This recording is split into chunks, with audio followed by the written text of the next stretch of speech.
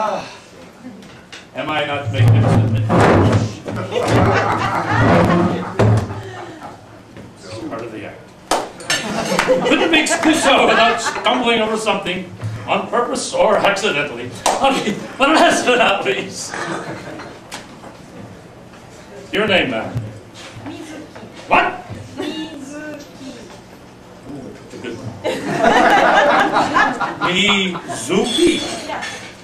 Mizuki, would you come up here, please? You told me if I can.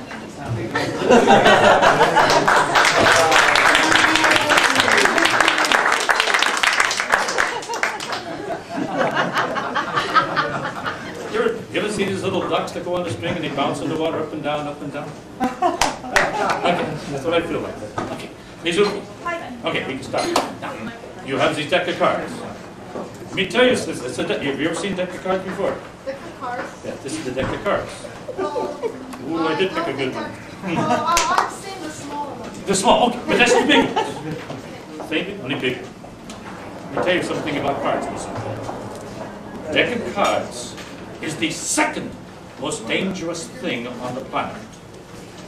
You know what the first is? Woman.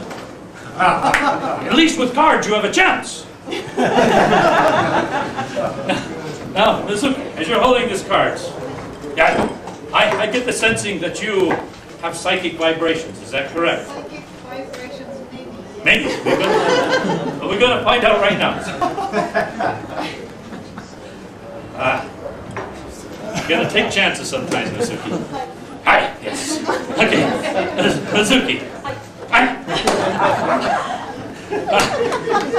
As you're holding these cards, do you feel the vibrations of a number or a face?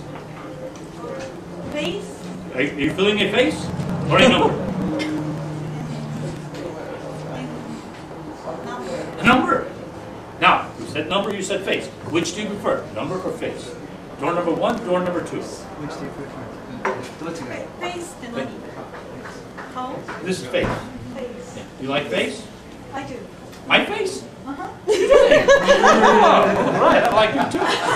Is that your boyfriend over there? Uh, Oh, good. My husband, is it? no. Oh, he's even better.